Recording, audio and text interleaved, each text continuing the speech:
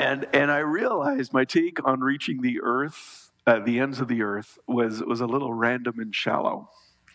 And, and I don't like random and shallow, so I knew I needed to figure out what God wanted me to say and how to tighten that up. And it was as as Dwight spoke last week, I really got encouraged to get after this.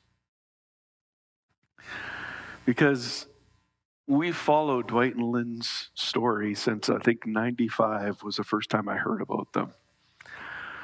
And around that time, they were going from South Africa into Mozambique for the first time. Well, not for the first time, but they were ministering in South Africa and they knew God wanted them to go to Mozambique. And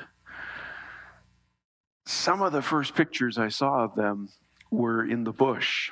They, they went to reclaim a farm that had been abandoned during the Civil War. And the farmers who owned the land, or at least had claim to the land, um,